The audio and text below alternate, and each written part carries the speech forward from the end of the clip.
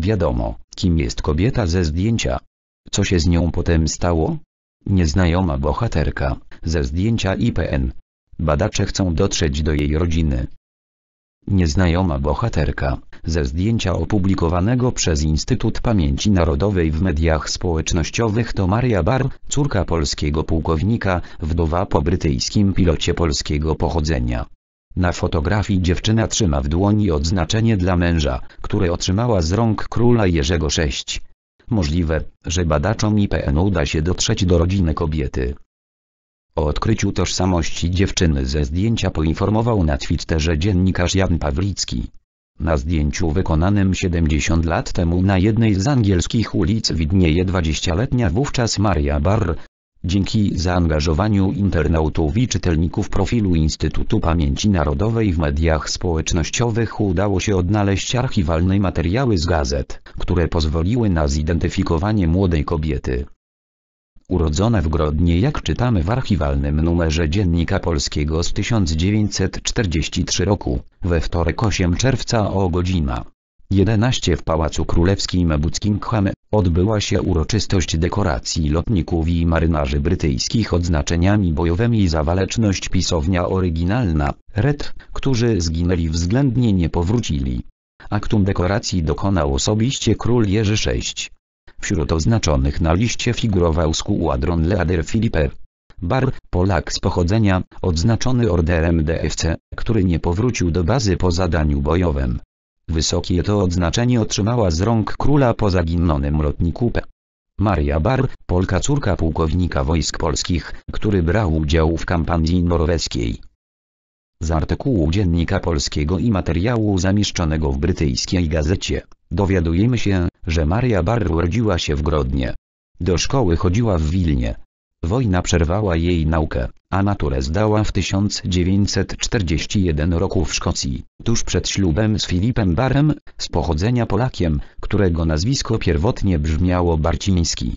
Przyszłego męża Maria poznała na polskim statku, Sobieski, gdzie ten znalazł się wraz z czterema innymi angielskimi lotnikami po upadku Francji i ewakuacji z miejscowości Starszy. Jean Delus. W 1941 rok. Maria poślubiła 25-letniego majora Filipa E. Bara w kościele katolickim w Glasgow. W listopadzie 1942 rok. Kobieta otrzymała wiadomość, że jej mąż nie wrócił z zadania bojowego. Maria w wypowiedziach dla dziennikarzy podkreślała, że nadal wierzy w to, że Filip żyje. Na wręczenie odznaczeń w pałacu Buckingham przybyła wraz ze swoją teściową. Była ubrana w mundur polskiego Czerwonego Krzyża, który zgodnie z jej relacją wzbudzał duże zainteresowanie wśród uczestników uroczystości. Maria pracowała wówczas w PCK w Edynburgu przy przetaczaniu krwi. Poszukiwana ze zdjęcia poznanie historii Marii nie okazało się możliwe dzięki wspólnemu wysiłkowi badaczy IPN oraz internautów. Cała sprawa zaczęła się w Dniu Kobiet, kiedy opublikowaliśmy na naszym profilu społecznościowym IPN zdjęcia różnych kobiet. Fotografie przedstawiały kobiety, które na przestrzeni lat walczyły o niepodległość Polski. Jednym z tych zdjęć była nasza, nieznajoma bohaterka, opowiada interi.pl Adam Stefan Lewandowski z Instytutu Pamięci Narodowej. Po sukcesie wpisu w mediach społecznościowych badacze IPN-u postanowili dowiedzieć się więcej na temat nieznajomej kobiety. Poszukiwana ze zdjęcia. Kim jesteś?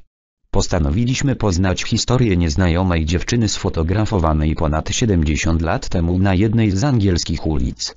Chcielibyśmy dowiedzieć się, czy pozostała na emigracji, czy też może wróciła do zniszczonej wojenną pożogą ojczyzny, w której na dobre szalał stalinowski terror, napisali w poniedziałkowy apelu na Facebooku badacze ZIPN, prosząc o pomoc w poszukiwaniach.